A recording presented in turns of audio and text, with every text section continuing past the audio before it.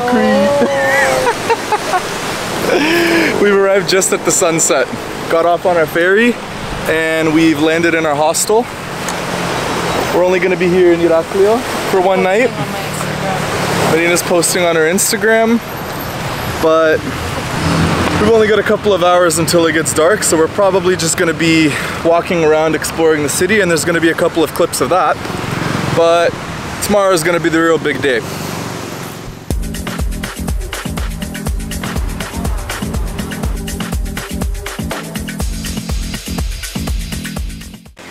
Mission for tonight, before we get back into our hostel room, is to find me deodorant because I really smell. Like, like you smell. Food over there. Is there no place that sells deodorant?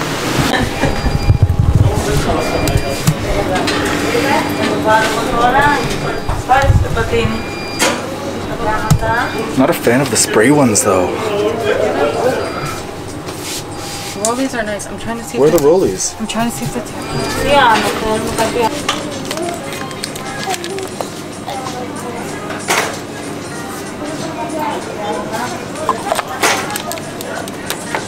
think you need extra control. Get this for you. You need a.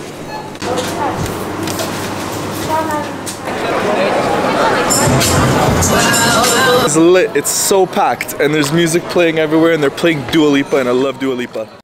Hey guys, so some of our clips got deleted. Well, the audio got deleted. So here's a bus ride to Spinalonga Island. We just took a couple clips of us chilling on there.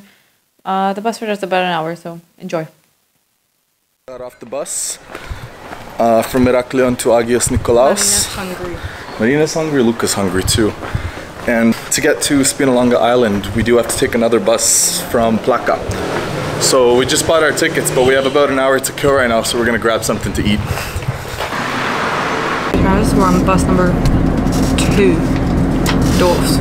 Dos, Wow. on the way to Plaka. Wow. And from then, we're gonna get on a ferry. And we only found the bus because of me, so. At first, when Luka told me we were going to, That island. I thought he meant like the, the cat, like the animal. Basically made a whole le- leper colony for people with leprosy in the 1900s and late 1800s, and it lasted for about 100 years.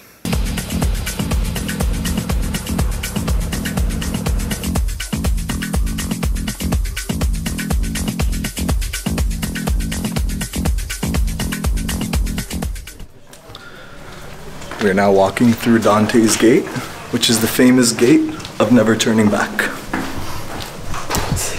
That was so dramatic. Never, Never. never.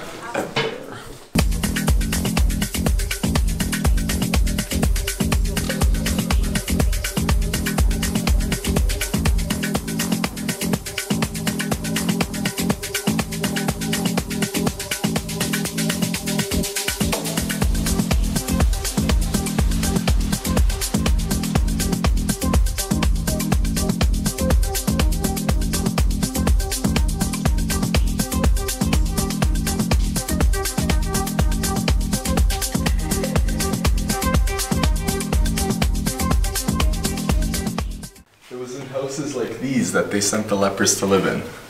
So imagine having a bed right here, and then each resident was given a certain amount of money, like a monthly allowance. So they did have some kind of financial freedom, but at the same time, you weren't allowed to leave the island.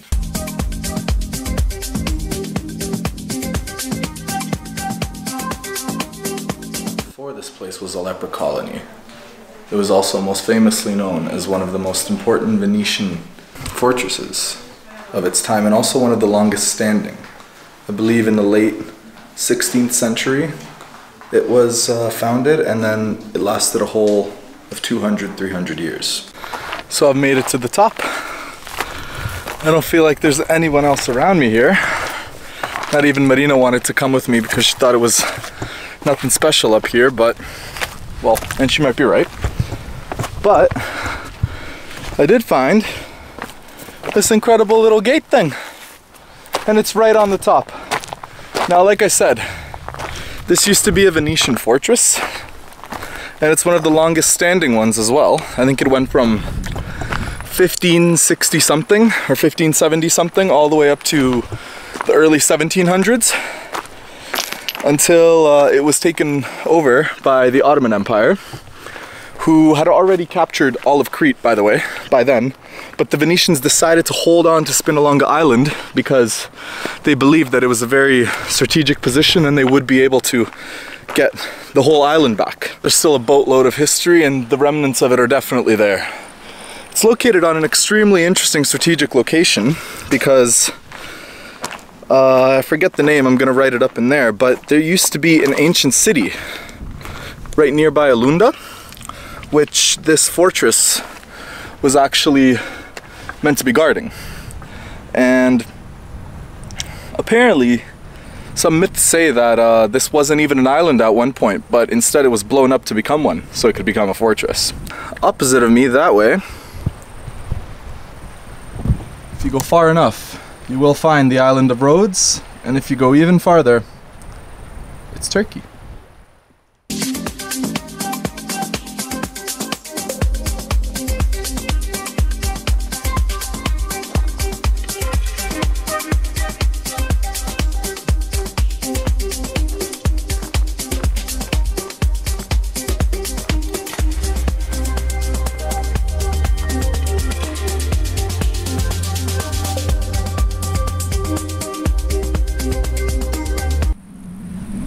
As you can see, it's not quite connected to the main bigger island over there.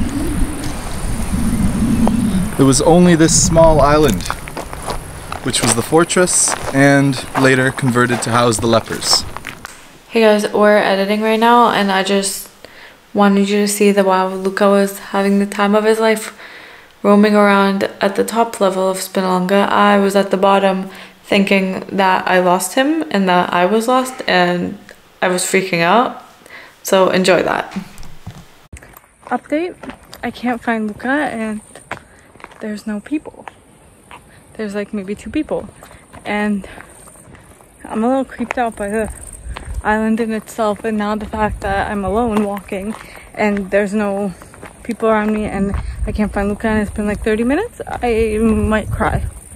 I won't cry. I'm scared. I think a school came and they're blocking off my exit so I'm taking a whole other circle around. I've come to the conclusion that I'm definitely overreacting. I see people up there, but I just don't know where I'm supposed to meet him. I've decided I'm gonna make my way up and put this in my own hands. It was in 1957 in which they decided to discontinue this place because there had been a cure for leprosy. And most of the people, most, when I say most, I think I read somewhere that there were maybe 20 people who still decided to stay after the cure. But everyone decided to move over there, back to Crete, where they were treated for their leprosy and then they didn't need to come back ever again.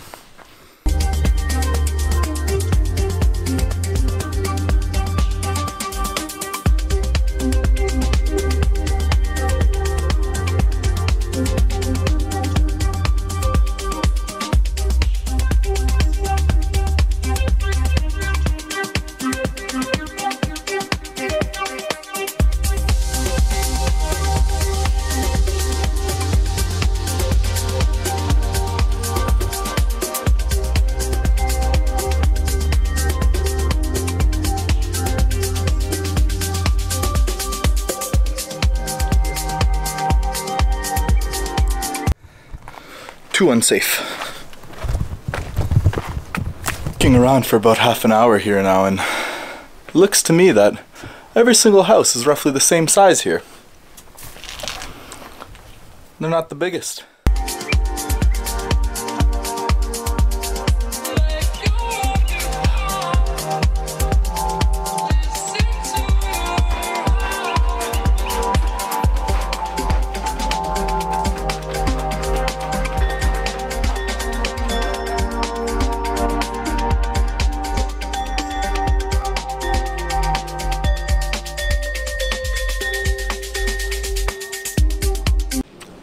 everyone. I know you guys missed me while Luka was doing all the vlogging.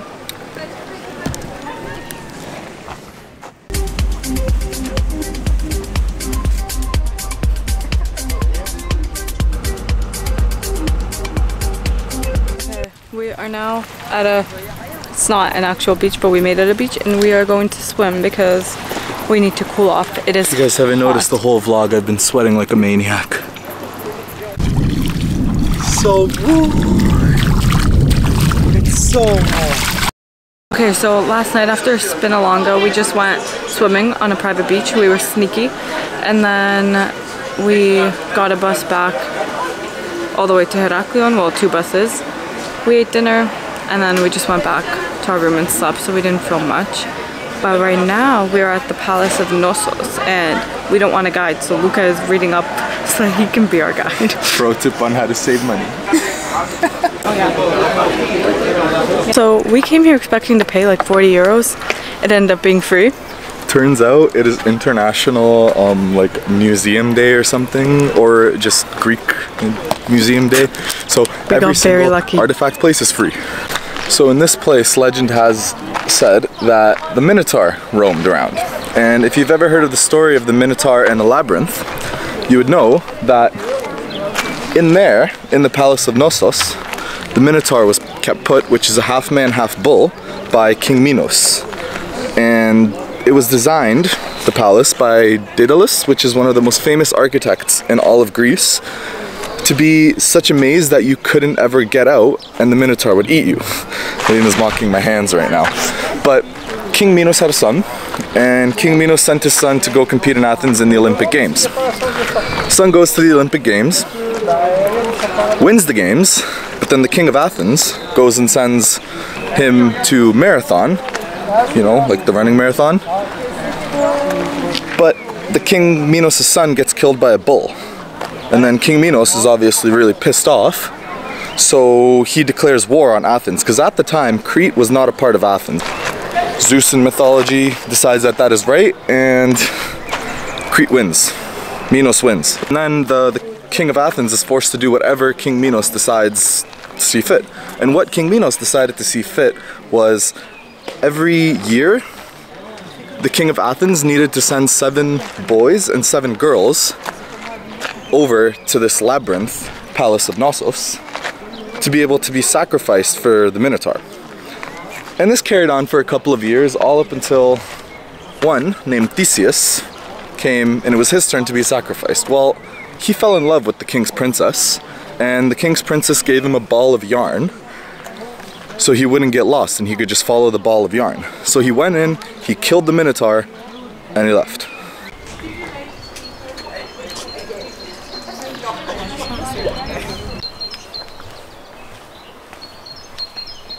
Do you guys like my outfit? Fit check. Hashtag fit check. We were walking around and Luka was vlogging and we met another YouTuber, a motivational His name is speaker. Asbjorn Jensen, so everyone go like and subscribe to Whoa. him. He does helpful tips on motivational stuff, and I don't really know exactly, but, go and we haven't. we'll subscribe.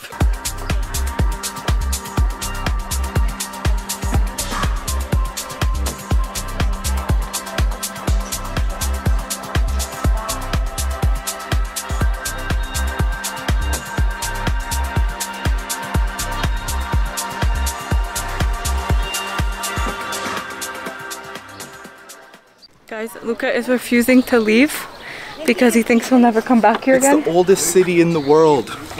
I mean, in he- Europe. He's refusing to leave. Like we're walking towards legs and he keeps turning around. Come on, Luka. No, Let's leave. no.